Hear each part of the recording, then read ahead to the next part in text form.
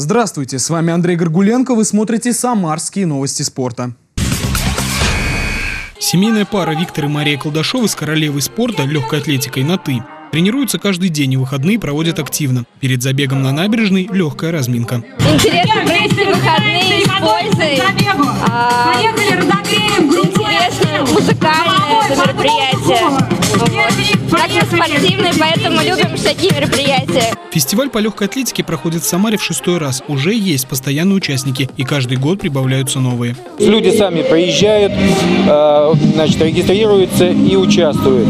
Поэтому мы считаем, что на данный момент э, более 400 участников, но это чисто люди с желанием приехали в других городов и участвуют. Это хорошо. Первый забег детский на 530 метров, участникам от 5 лет. На финише каждому сразу награда, медаль и сладкий приз. Следующая дистанция семейная. Папа, мама и ребенок. Кузнецовы пришли вторыми, говорят, есть куда стремиться. Тяжело догонять. Вот, а так будем улучшать и будем постоянно тренироваться и участвовать в соревнованиях.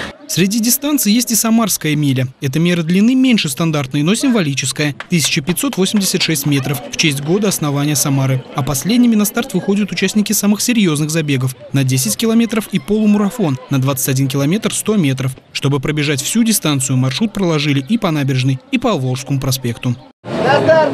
Внимание! Марш!